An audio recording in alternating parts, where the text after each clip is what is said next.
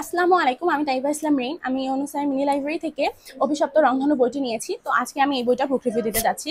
তো এই বইয়ের মূলত হচ্ছে আমাদের সমাজে খুবই প্রচলিত একটা বিষয় নিয়ে হচ্ছে কথা বলা হয়েছে। হচ্ছে এখানে মূলত সমকামিতার বিষয়টা তুলে ধরা হয়েছে। আসলে সমকামিতাটা হচ্ছে বিভিন্ন সময় বিভিন্ন মানুষ এই সমকামিতা নিয়ে বিভিন্ন মতামত দিয়েছে এবং হচ্ছে তাদের মতামত এবং চিন্তা ভাবনাটা কতটা যৌক্তিক, গ্রহণযোগ্য সেই বিষয়টা নিয়েই মূলত হচ্ছে লেখক এই বইয়ে বিশ্লেষণ করেছেন। হচ্ছে, ইসলাম দর্শন এবং বিজ্ঞানের আলোকে। তো হচ্ছে, লেখক ধর্ম দর্শন ও বিজ্ঞানের আলোকে এই বিষয়টি বিশ্লেষণ করতে গিয়ে জানিয়েছেন যে এটা আসলে খুবই জঘন্য একটা পাপ কাজ। কারণ হচ্ছে, জন্মগতভাবে যেমন মানুষ চোর জাকাত হয়ে জন্মগ্রহণ করে না। তেমনই হচ্ছে সমকামিতাও হচ্ছে কারও ক্ষেত্রে জন্মগ্রহণ হচ্ছে জন্মগতভাবে আসে না।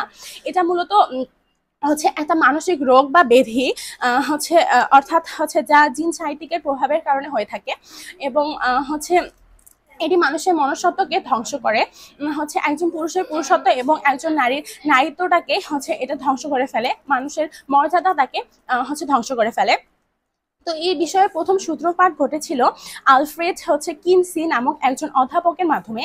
তিনি এই সমকামিতা বা হচ্ছে ট্রান্সজেন্ডার নিয়ে মূলত দুটি বই হচ্ছে লিখেছিলেন। যে বইয়ের মাধ্যমে যে বই হচ্ছে সারা বিশ্বে হচ্ছে এক হচ্ছে উত্তেজনার সৃষ্টি করে। কারণ হচ্ছে সমকামিতা বিষয় নিয়ে তার আগে মানুষের সেরকম কোনো ধারণা বা আকর্ষণ ছিল না। কিন্তু তার এই বই হচ্ছে প্রকাশনীর পর থেকেই মানুষ এটাকে নিয়ে খুবই হচ্ছে উত্তেজিত হয়ে পড়ে এবং হচ্ছে তিনি জানান তিনি তার বইয়ে জানান যে এটা আসলে হচ্ছে একটা স্বাভাবিক ব্যাপার এবং হচ্ছে এটা হচ্ছে কারণ হচ্ছে মানুষ যা মন থেকে চায় সে তো তাই করবে। হচ্ছে এটা এখানে তাকে বাধা দেওয়ারও কিছু নেই, তার সাথে খারাপ ব্যবহার করার বা তাকে বাধা দেওয়ারও কিছু নেই। কিন্তু এটা আসলে কোনো স্বাভাবিক ব্যাপার নয়। সমকামিতা কীভাবে একটা স্বাভাবিক ব্যাপ- ব্যাপ- ব্যাপার হতে পারে? তো এই সমকামিতার মতো জঘন্য বিষয় সম্পর্কে হচ্ছে ইসলাম কিন্তু আমাদের শুরু থেকেই সতর্ক করেছেন এবং অনেকেই হচ্ছে মনে করেন যে ট্রান্সজেন্ডার্স মানে হচ্ছে হিজলা।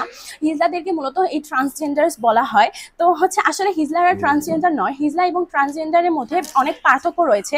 তো হচ্ছে হিজলাদের ক্ষেত্রে যেটা হয় যে তারা শারীরিক এবং চারিত্রিক তাদের শারীরিক এবং চারিত্রিক গঠন অস্বাভাবিক হয়ে থাকে। কিন্তু হচ্ছে ট্রান্সজেন্ডারের ক্ষেত্রে যেটা হয় যে তাদের শারীরিক গঠন একদম হচ্ছে ঠিক থাকে। কিন্তু হচ্ছে তাদের মানসিক সমস্যা থাকে, যার ফলে তারা নিজেদেরকে অনেক ক্ষেত্রে নারী বলে দাবি করে।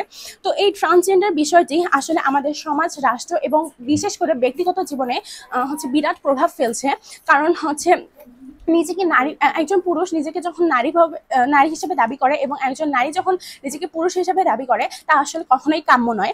তো হচ্ছে এই সমকামিতাকে কাটানোর জন্য লেখক মূলত বিভিন্ন উপায় এই বইয়ে বলে দিয়েছেন এবং যুক্তির মাধ্যমে এই বিষয়টাকে সকলের সামনে উপস্থাপনা করেছেন। ধন্যবাদ।